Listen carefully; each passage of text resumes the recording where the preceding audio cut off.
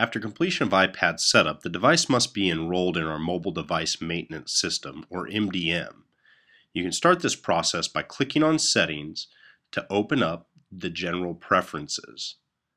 Make sure you're on General, and on the right hand side of the screen, scroll down to Profiles. You must see the Supervision profile installed to continue. If you don't, please put it back on Apple Configurator and supervise the device. On the home screen, open Safari and in the address bar type enrollme, E-N-R-O-L-L-M-E dot L-I-S-D dot net. Hit go and you'll be brought to a login page. Select this is a company-owned device and input your LISD username and password. Press the Login button to begin the enrollment process. You'll be swapped back out to your profile page. Click Install Install now, install in the top right, and when finished, click Done.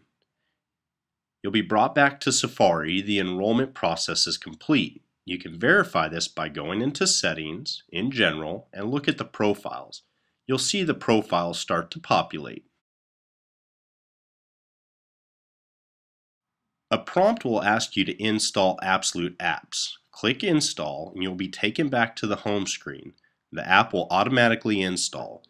You are now complete with the enrollment of the LISD 1 to X iPad.